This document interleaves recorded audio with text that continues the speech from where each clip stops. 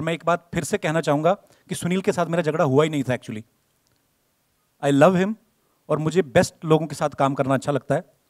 मैं खुद सुनील को जब मैं कॉमेडी सर्कस करता था, तब मैं उनको बोलता था कि एक सुनील करके हसबली में मुझे मिले थे, उनको लेके आते हैं। एक मैं उनका वहाँ पे शो देखा तो मुझे अच्छे लगते हैं। बेस्ट लोगों के साथ काम करते हो, आप बहुत कुछ सीखते हो। तो सुनील के साथ मेरा कभी झगड़ा हुआ ही नहीं। चीज़ें ऐसी कुछ हो गई, मुझे, मैं इतना इरीटेट हो गया था कि शो मैं थोड़ा खुल के बता सकता हूँ? एक्चुअली uh, uh, मैं बताना चाहता हूँ कि ऑस्ट्रेलिया पहुँचते ही पहले दिन से ही मेरा मूड बहुत ख़राब था। ऑस्ट्रेलिया निकलने से पहले भी बहुत सारी चीज़ें होती जब आप पचास कामों में हाथ डालते हो जैसे हम लोग फ़िल्म शूट कर रहे थे तो फ़िल्म के दौरान हमारे एक आर्टिस्ट थे उनकी डेथ हो गई। मान साहब thank you so much for coming that day और हमेशा मुझे पता नहीं कहाँ से मैंने मान साहब को एक दिन पहले वैसे फ़ोन ट्राई कर रहा था कि हम चंडीगढ़ में आए हुए हैं, कहीं आप भी चंडीगढ़ में तो मिलते हैं। तो उस दिन मुलाकात नहीं हो पाई और हमारे एक आर्टिस्ट की डेथ हो गई। मेरे साथ रात को सीन कर रहे हैं एक और एक एक सीन था उनके साथ कि मैं उनके रजाई उठा के लेके जाता हूँ और छत पे जाता हूँ। तो रजाई उठा के लेके जाता हूँ, वहाँ पे कट पैकअप हो गया, अगले दिन मुझे छत पे करने वाला सीन करना था। तो उस अगले दिन उनकी डेथ हो गई। सो मुझे, मैं इतना नर्वस हो गया, इतना मैं नेगेटिव हो गया उस समय तो मान साहब के आने से बड़ी पॉजिटिव एनर्जी मिली। उसके बाद मैंने इनको कहा कि हमारा शूट जो है काफ़ी डिले हो रहा बिकॉज़ फॉग वॉग बहुत पड़ रही थी पंजाब में। मैं आपको इसलिए बता रहा हूँ, ये सारी चीज़ें कि आदमी का दिमाग क्यों ख़राब होता है।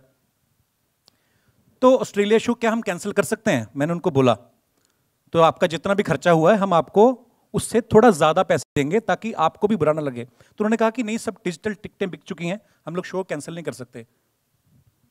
मुझे नुकसान, फ़ायदा नहीं, तब मुझे समझ में आता है हम नॉट बिजनेसमैन हम लोग चले गए। जब शो शुरू होने वाला था एक्चुअली स्टेडियम भरा पड़ा है। कोई दो आर्टिस्ट आपस में एक्चुअली मेरे, आदत है मेरे को, क्योंकि मेरे नाम से शो है ना, कि द कपिल शर्मा शो तो कोई भी छोटी से छोटी चीज़ होती है, कोई भी बड़ी से बड़ी चीज़ होती है, सब मेरे पास आती है। हालाँकि आनी चाहिए नहीं, लोगों को अपने लेवल पर टैकल करना चाहिए। तो एक लड़की आई मेरे पास रोती रोती कि भैया ऐसे ऐसे हो रहा है, किसी दूसरे आर्टिस्ट और वो लड़का है, जो मेरे बचपन का दोस्त है। उसको मैंने डांटा था, उसको मैंने गालियाँ दी थी। क्योंकि हम लोग बचपन से लड़ते आ रहे हैं। कभी आई नहीं न्यूज़ क्योंकि मशहूर दोनों नहीं थे। तो उसने भी मेरे को पाँच छः दी मामला ख़त्म हो गया। उसने उस लड़की के साथ परफॉर्म नहीं किया। और क्योंकि शो शुरू करने से पहले, पाँच मिनट पहले की ये बात है। डेढ़ घंटा मुझे परफॉर्म करना था वहाँ पे।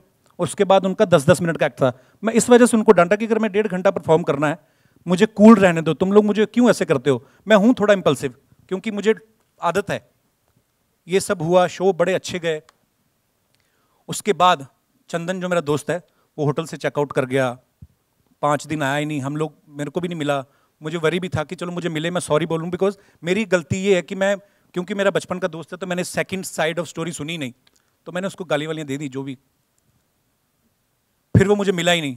फिर जब हम चंडीगढ़ ऑस्ट्रेलिया से वापस आने लगे, तब तक नहीं मुझे मिला। एक घंटा पहले वो आदमी मुझे नज़र आया।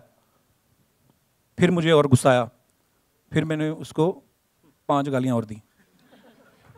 उसने भी मुझे दी, उसकी आती नहीं है टीवी में। तो सुनील भी था, वो वर्ड भी था मेरे लिए कि ये ऐसे क्यों? पर एक्चुअली मैं आपको एक बात बताता हूँ, हम नौ साल से एक दूसरे को जानते हैं, मैं और सुनील, और पाँच साल से साथ में काम कर रहे हैं। अगर मैं एक्चुअली सुनील की जगह होता, मुझे खाली इतनी, मुझे वो शिकायत नहीं उससे, वो बहुत अच्छा आदमी, बहुत अच्छा आर्टिस्ट है। बहुत, मुझे मेरा फेवरेट है शो में, शायद सबसे ज़्यादा प्यार मेरा उसी के साथ है। पर अगर मेरी जगह सुनील होता तो मैं एक बार जाके ज़रूर पूछता कि तुझे कभी पाँच सालों में ऐसे देखा नहीं मैंने? तो इतना वियर्ड बिहेव क्यों कर रहा है?